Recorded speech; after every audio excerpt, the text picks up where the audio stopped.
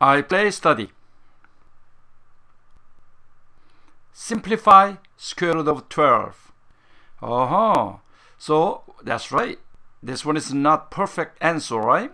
Because you have to simplify first. That's right. Okay, let's do it.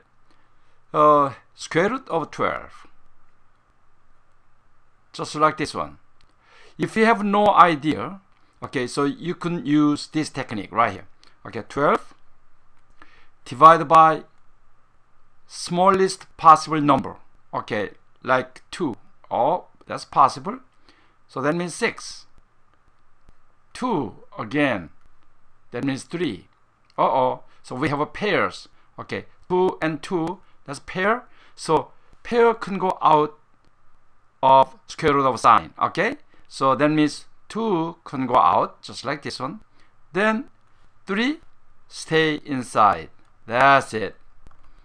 Or you can change this one like this. Okay, this one means 4 times 3.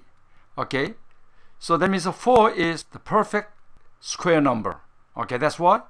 2 square root of 3. That's it. Okay, let's try a few more here. Okay, square root of 50. Okay, that means what times what? Uh-huh. So at least one of them has to be the perfect square number. Oh, wait a minute. That means 5 times 10? Uh-oh.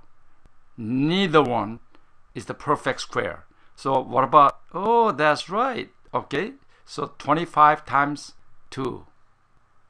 Just like this one. 25 times 2. So 25 is a perfect square number. That's why we can take this one out. Okay, by 5, then square root of 2. See how easy it is? Okay, now what about this one then? Okay, just like this one. Okay, wait a minute. What times what is possible? 150 times 2? No. That's right. 100 times 3. That's why 100 is the perfect square number by 10 square root of 3. Great. So what about this one? That's right. This one, 4 times 2.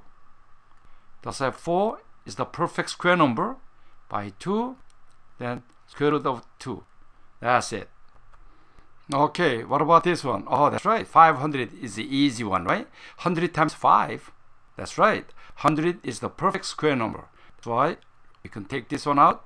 That's 100. Actually, 10 square root, then 5. Oh, that means 10 times 10 is 100 times 5. That's 500. Okay, what about this one then? Uh huh. So that's right. 36 times 2. That means 36 is the perfect square number. Okay, 6 square root of 2. Fantastic. Keep looking at this. Okay, then you get the idea. Okay, then what about 75?